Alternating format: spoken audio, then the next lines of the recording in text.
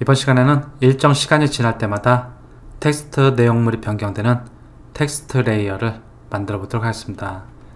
먼저 어, Character Reset Character 해주고 Paragraph도 Reset Paragraph 해주겠습니다. 텍스트를 입력하기 위해서 Horizontal Type Tool을 이용해서 After 애프터 이펙트 를 입력해 주겠습니다.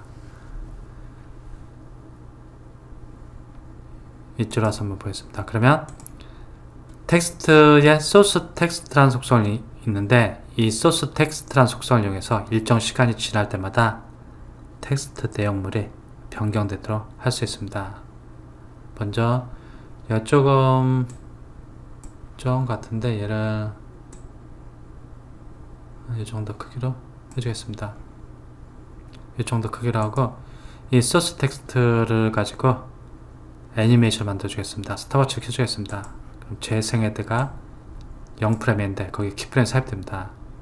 그 다음에 얘가 한 1초 정도 지나서 여기 스톱워치가 켜져 있는 상태입니다. 1초 정도 지나서 얘를 딜리트 해주고 얘를 프리미어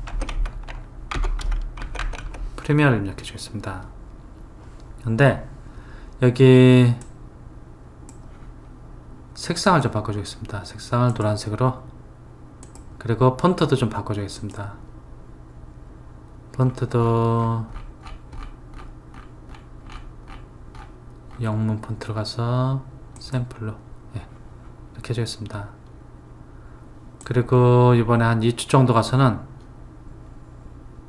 더블 클릭하고 안에 들어가서 포토샵 포토샵을 입력해 주겠습니다. 그럼 이렇게 keyframe이 들어가 있는 것을 보시는데 여기 가보면 애프터 이펙트 그 다음에 쭉 가서 여기 가면은 프리미어 쭉 가서 포토샵 K키 눌러갖고 어, 포토샵의 색상을 이렇게 좀 바꿔주겠습니다. 그리고 폰트도 얘는 좀 더 키워주겠습니다. 한 60? 네, 폰트가 커진 것을 확인할 수 있습니다. 이제 보면은 스페이스바 누르면 애프터 이펙트가 보이다가 프리미어 포토샵 1초 단위로 바뀌는 것을 볼 수 있습니다. 한 요쯤에서 N키를 눌러갖고 work area를 해서 종료시켜 주겠습니다. 원한 다면 얘들의 시간대를 이렇게 뭐 바꿔줄 수 있습니다. 이렇게 바꿔줘갖고 스페이스바 누르면 애프터 이펙트 프리미어 포토샵 이렇게 바뀝니다. 컨트롤 Z, 컨트롤 Z 이번에는 얘들 너무 좀 한 군데 이렇게 그 자리에서만 좀 변한 것 같으니까 좀 단순한 것 같습니다. 얘들 포지션 애니메이션을 좀 만들어 주겠습니다. 먼저 얘 선택하고 키보드에서 U키를 눌러줍니다. 그럼 keyframe이 삽입된 속성이 나타납니다.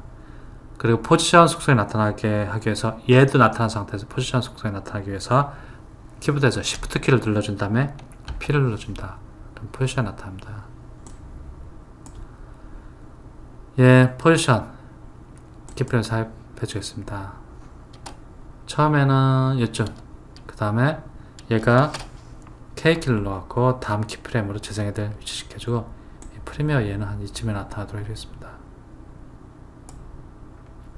그리고 다시 또 K키를 넣어갖고 이쪽으로 이동시켜주고 이 포토샵은 이쯤에 나타나도록 해주겠습니다.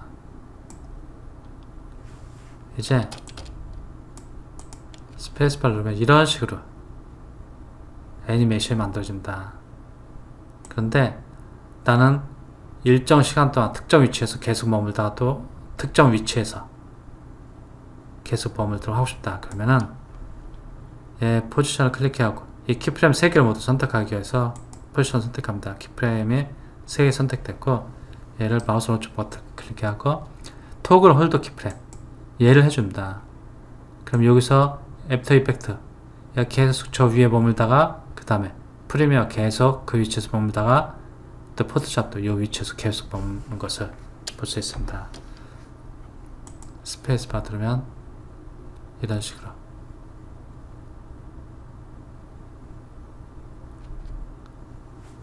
어, 소스 텍스트라는 속성을 이용해 갖고 텍스트의 내용물이 변경되는 일정 시간마다 내용물이 변경되는 애니메이션을 만들 수 있는데 그 내용물을 변경할 때는 텍스트 내용도 변경할 수 있지만 있죠. 캐릭터라든지 패러그래프의 속성을 이용해 갖고 여기서 설정할 수 있는 속성까지 즉 뭐 폰트 색상이라든지 폰트라든지 폰트 크기 등 다양한 속성도 같이 변경해서 내용물이 변경될 때 같이 여기 있는 속성도 같이 변경되도록 설정해 줄 수 있습니다.